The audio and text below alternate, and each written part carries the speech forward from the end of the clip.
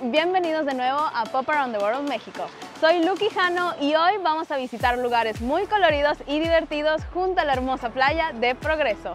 Y obviamente también conoceremos más de la cultura local y la comunidad Funko Pop.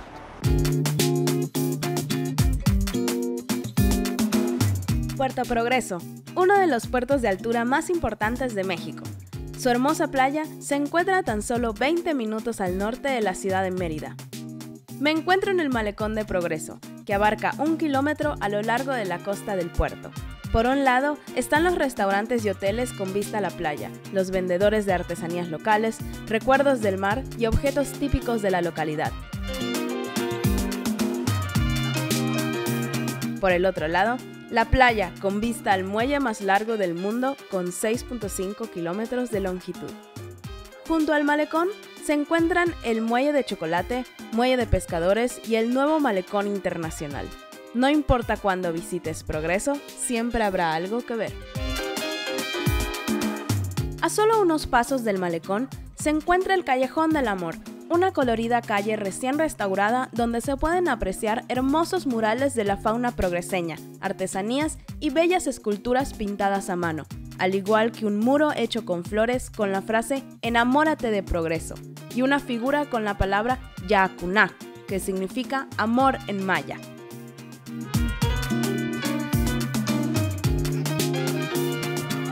Ahora viene mi parte favorita, es tiempo de platicar con Majo, una compañera coleccionista que conocí a través de redes sociales.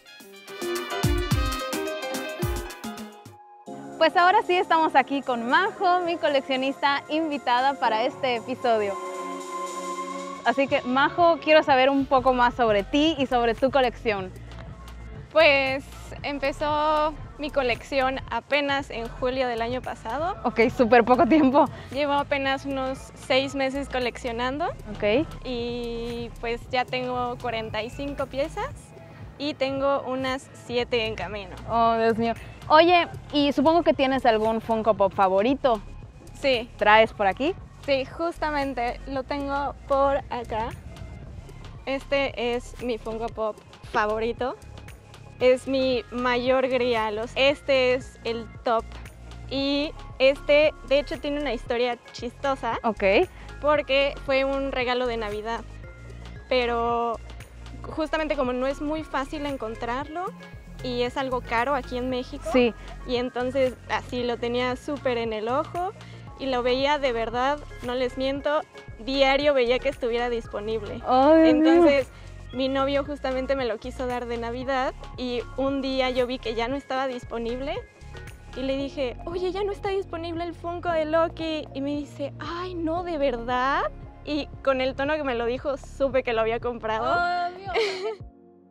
¿Coleccionas más Marvel o cuáles son las licencias que más te gustan? Marvel. En general tengo, sí, de los más de 45 que tengo, yo creo que el 90% son Marvel. Y otras licencias, veo que aquí hay Lilo, Stitch, hay un Deadpool. ¿Qué otras licencias también tienes en tu pues, colección? tengo también algunas de anime.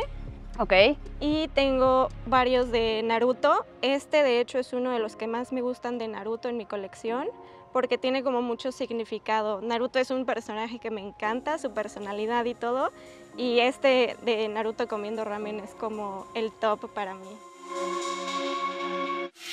Eh, ya tienes 47 Funko Pops, tienes más en camino. ¿Qué te gusta de ser coleccionista? ¿Qué te, qué te hace feliz o qué te, qué te gusta de esta parte de coleccionar?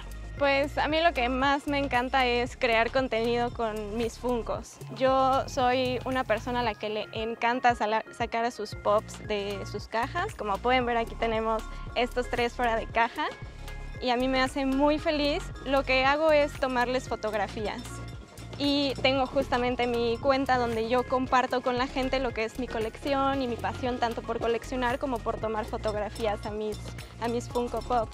Y entonces a eso, ese es mi hobby, es mi mayor pasión. Y también algo que me gusta mucho de mi colección es que mi pequeño, yo tengo un hijo de dos años, empieza como a gustarle lo que son los Funko Pops y ya empieza a distinguir los diferentes personajes que hay gracias a esto.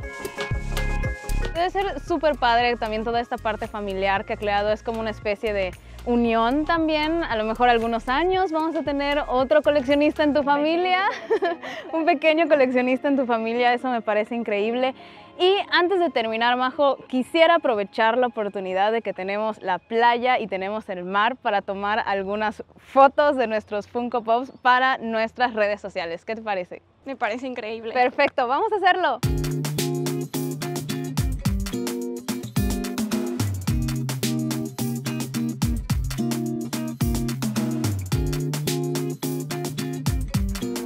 Pues amigos, ese fue nuestro rápido paseo por Progreso Yucatán y espero lo hayan disfrutado tanto como yo. Soy Lucky Jano de Pop Around the World México. Nos vemos pronto. Adiós. Pop Around the World.